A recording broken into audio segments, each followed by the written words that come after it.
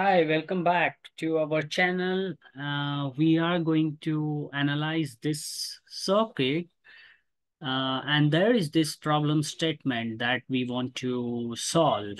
So it says in the voltage regulator shown below, VT is the uh, VI actually, this is VI is the unregulated voltage of 15 volts. So right here is uh, 15 volt we have to assume that uh, base emitter voltage of the transistor is uh, 0.7 volt. So here is the base and the emitter. Here is the base and the emitter. So that's 0.7 volt. And the base current IB is negligible for both the BJTs. So BJT1 BJT2, they have negligible base current. So the current that flows through the base pin of this transistor is assumed to be zero. Now they say if the regulated output voltage V naught is 9 volts, so here it's 9 volt, we have to find the value of R2 and R2 is given right here. So we can see that this is a circuit of voltage regulator, a simplest simplest form of a voltage regulator circuit consisting of BJT and you got the Zener diode uh, here as well. So how to solve this problem?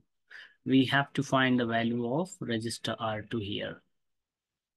So what we do if we see that the Zener diode VZ is 3.3 volts, so obviously as soon as the voltage across this diode will be greater than or equal to the breakdown voltage of this diode, which is 3.3 volt, the diode will conduct the current from cathode to anode, and there'll be this constant voltage across it.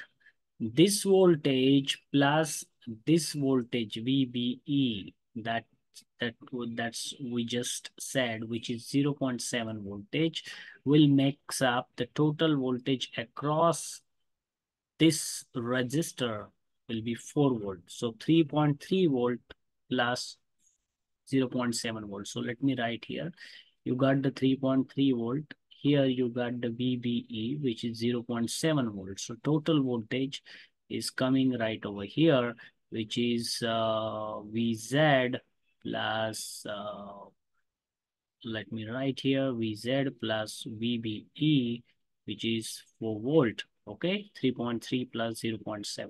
So now at this node, we have got the 4 volt and uh, we need to know the current through the resistor. If we do so, we will get the value of resistor, which is basically R2 equals to this 4 volt divided by the current IR2. Now, what is the current IR2? So we'll say that this is IR2, that's the current flowing. There is a current here.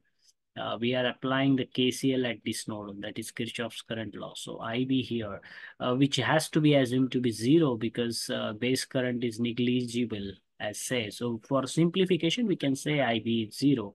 Now there is one more current coming from this 9 volt supply through this resistor R1. So obviously this IR1 let's say IR1 will be, let's say VO, which is 9 volt divided by the value of R1. So 9 divided by 1K, it's a 9 milliampere current. So, uh, and here you got the 4 volt, right? Here, 4 volt. So now, uh, since IB is negligible, we can say that IR1 is equal to, approximately equal to IR2.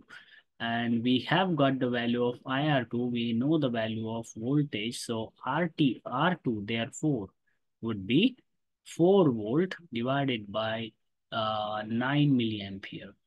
So you have to calculate uh, how much that comes out to be. Let me calculate that. So that comes out to be 2.25 uh, kilo ohm. Let me write here 2.25 kilo ohm. So that's the value and that's the answer. So this is how you can actually simplify uh, the circuit analysis by applying simple equations and simple basic laws such as Kirchhoff's law of current, Kirchhoff's law of voltage, etc.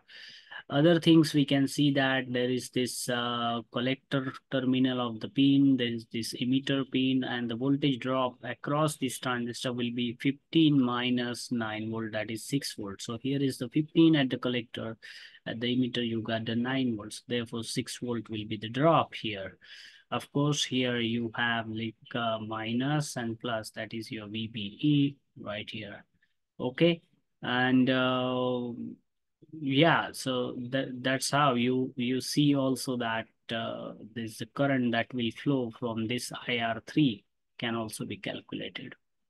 Okay so hope you found this video informative and the content useful which is helping to solve the circuit problems. You can share this with others and stay tuned for more engaging content like this. Till then wish you happy learning